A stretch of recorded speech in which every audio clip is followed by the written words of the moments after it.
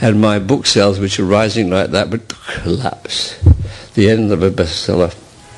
So and Larry King may be a very good interviewer, but he was completely the wrong choice for Marlon Brando, who started off on wild riffs about Native Americans and the environment. And, you know, I wouldn't touch anything to do with acting. Oh, everybody's an actor. I'm not going to talk about that. so, and so then, uh, so when I was in uh, the end of my time at the Sunday Times, I got a literary agent sent me a a bundle of clips. Now, I was continually besieged by literary agents sending me clips to give this person a job, give this person a review front, which was the marvellous place. And I put these at the bottom of my briefcase and never bothered until a week later or so with the latest that had been sent to me. And um,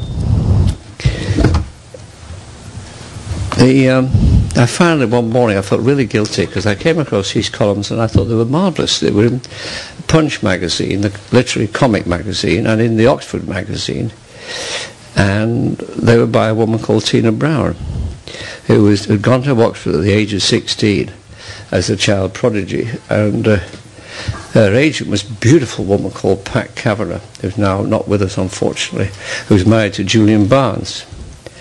Julian Barnes was my television critic on the Sunday Times. So I read these pieces. I thought they were absolutely tremendous. So I thought I must ring up, I must ring up this child prodigy and say, tell her I like the columns. The conversation went like this. Brown's column about a lunch at Private Eye was hilarious. I'd normally have passed it to Ian Jack, the editor of our Look feature page, in what used to be the women's section. But feeling guilty at my neglect in reading the submission, I got on the phone at once to tell Miss Brown that I much enjoyed her writing and would like her to come and meet Mr. Jack.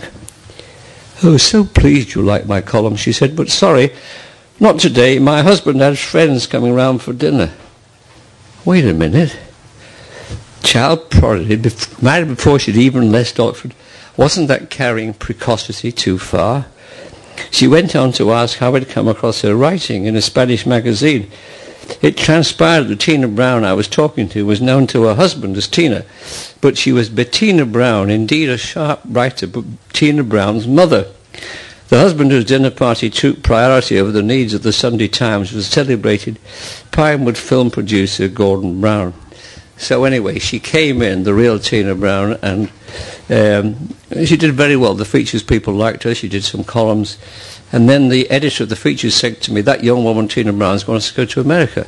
Uh, I don't know anybody in America. Do you have any names? Well, I thought the State Department, military stuff. No, I don't. Uh, I thought I know just the right person. I just recently met a famous New Yorker called S.J. Perelman, crazy like a fox. Very, very funny New Yorker writer.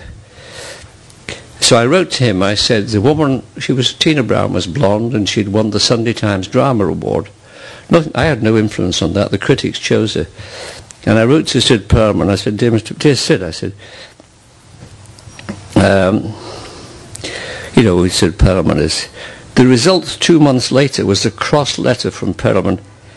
I don't know why I'm being cordial to a man who wrote me way back in November that a beautiful blonde playwright who had won your drama award was coming here and would phone me.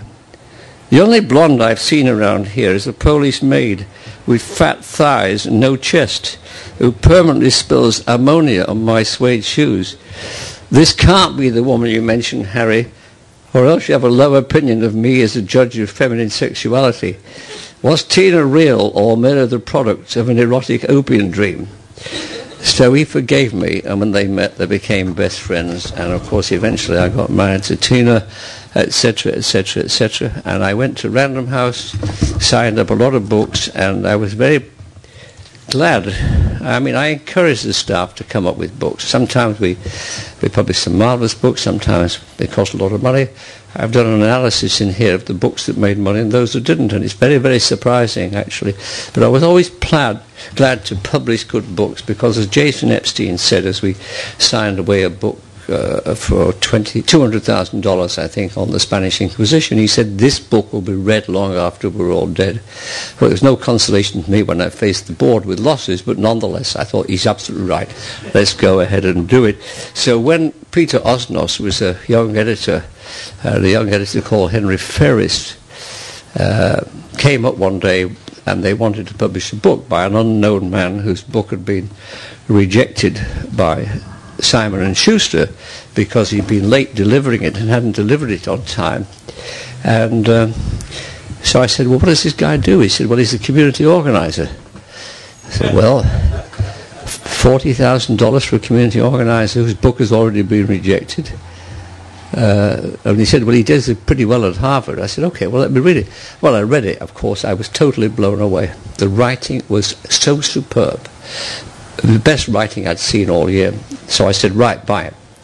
And of course, Dreams from My Father by Barack Obama is now the mainstay of Random House Publishing House. So if I do nothing else, I'm proud of signing that. And recently my wife met Barack.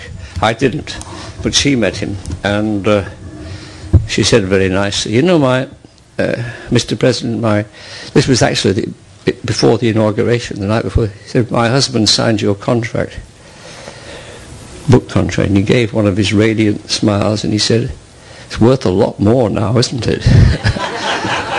so thank you for listening to me.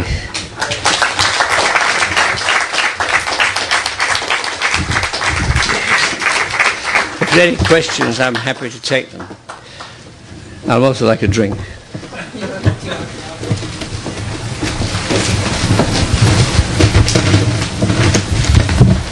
Hi. Um, so you said earlier that. Um, oh, hi. Sorry. You said earlier that um, Murdoch fired you, so I'm not sure how this question is going to go, but. Uh, I don't mind. Whatever you um, What do you think of him uh, withdrawing the journal from uh, Google searches? Do you think that's a who? good Uh, business uh, who? Who? Uh, Murdoch with, withdrew. I'm not sure if I'm. Google did. No, Murdoch. No, Murdoch withdrew the journal from Google searches. I think just sort of. Well, you know, you know.